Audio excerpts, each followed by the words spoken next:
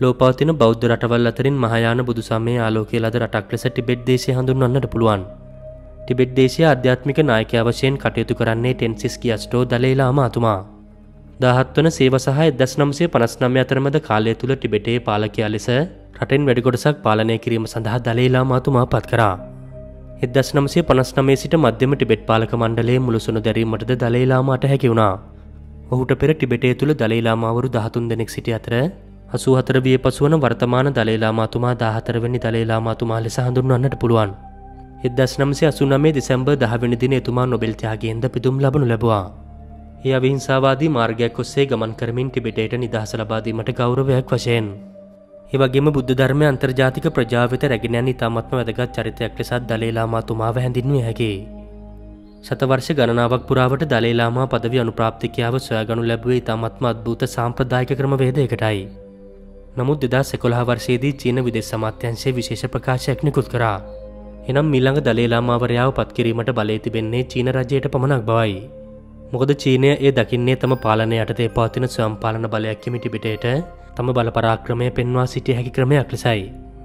ඉතින් එදස් නම්සේ හතලියේ පෙබරවාරි විසි දෙවනිදා සිංහාසනාරූඩ කරපු දාහතරවෙනි වර්තමාන දලේලාමාතුමාගේ අභාවයෙන් පසුව මිළඟ දලේලාමාතුමාව පත්කිරීමේදී ඒ විශාල දේශපාලන මේසා ආගමික ගැටලුවක් දක්වා වර්ධනය වෙන්නට පුළුවන්. අද වීඩියෝයකින් අපි බව දැනුවත් කරන්නේ ටිබෙට් සම්ප්‍රදායට අනුව මිල්ළඟ දලේලාමාවරයාව සොයා ගන්න හැටි. මතක තබාගන්න ඔවුන් සිදු කරන්නේ දලේලාමා තනතුරට කෙනෙකු තෝරා ගැනීම නොවෙයි. දලයිලාමාවරයාව සොයා ගැනීමයි. එහි තේරුම ඔබට ඉදිරියේදී වඩාත් පැහැදිලි වේවී. අපි දන්නව සියලු බෞද්ධයින්ගේ අවසාන අරමුණ නිර්වාණය සාක්ෂාත් කර ගැනීමයි.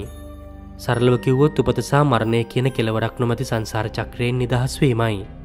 මහයාන බුදුදහම අදහන නැගෙනහිර ආසියාවෙසා ටිබෙට් බෞද්ධීන් විශ්වාස කරන විදියට බෝධිසත්වයින් නෙම උතුම් තත්ත්වයට ළඟාවී තිබෙනවා.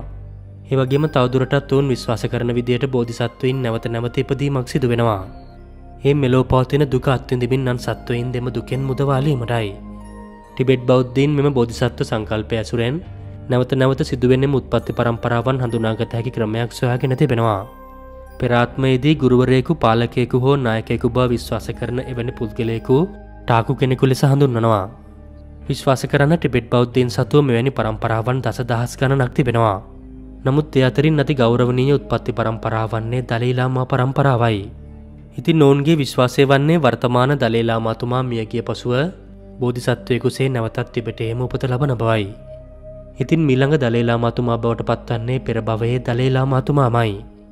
අන්නෙම හේතුව නිසා ටෙබෙට්වසියන් දලයිලාමා කෙනෙකු තෝරාපත් කරනවා වෙන්නෝට සිදු කරන්නේ නැවත උත්පත්තිය ලැබූ පෙරභවේ දලේලාමාතුමාව සොයා ගැනීමයි. මොවුන් නිර්වාණය සාක්ෂාත් කර ගැනීම වෙනුවට නැවත නැවත ඉපදෙමෙන් ලෝකයට යහපතක් කිරීමට වෙහෙසෙනවා. දහතුන්වැනි දලේලාමාතුමා මියගේ ෂණිකෝම දහතරවැනි දලේලාමාතුමා සෙවීම ආරම්භ කරා. දලයිලාමාතුමාගේ පුනරුත් පත්තිස්ථානයේ සෙවීම පැවරෙන්නේ දලයිලාමාතුමාට සමීපයෙන්ම සිටි ශිෂ්‍යයින් වෙතයි. දලයිලාමන් නැවත උපත ලබන්නේ කොහෙද කුමන ස්ථානයක දෙයන්න අනාවකි පැවතියද නිවැරදිම දරුවා සොයාගැනීම සඳහා පරීක්ෂාවන් සිදු කරන අතර සලකුණු බැලීමත් සිදු කරනවා. උදාහරණැක් විදියට දහතුන්වැනි දලේලාමාතුමා මියගිය පසුව ඔහුගේ සිරුර පැවතියේ දකුණු දෙසට මුහුණලා. නමුත් ටික දිනකින් පසුව හිස නැගෙනහිර දෙසට හැරුණු අතර සිරුර තබා තිබූ ස්ථානයේ ඊශාන කෙලවරේ අසාමාන්‍ය දිලීර විශේෂයක් සෑදී තිබුණා. ඒවගේම අදහනය කිරීමේදී එම දේහේ දුම ගමන් කරේද ඊශාන දෙසටයි. ඉතින් නොන්නේ දලේලාමාතුමා නැවත උත්පත්තේ ලැබූ ස්ථානය පෙන්වා සිටින සලකුණක් සේ සැලකවා. ඒවගේම ලාමොයි ලට්සෝ කියන විල පරීක්ෂාවට ලක් කිරීමටත් කටයුතු කරනවා. මොකද අතීතේ සිට මෙම විල දලේලාමාතුමාගේ පුනරුත්පත්ති ස්ථානය පෙන්වීමට සමත් හාස්කම් සහිත විලක් සේ සැලකවා. ඉතින් අවසානයේදී ටිබෙටේ ඊශාන දිග පිහිටි ඩොකම් දිස්ත්‍රීකයෙන් සලකුණුවලට ගැලපෙනම දරුවෙකු හමුණා. දහතුන්වැනි දලේලාමාතුමා මියගේ දින්නේ සිට බලන කලෙම දරුවාගේ වයසද එහා නිවැරදිවම ගැලපුණා.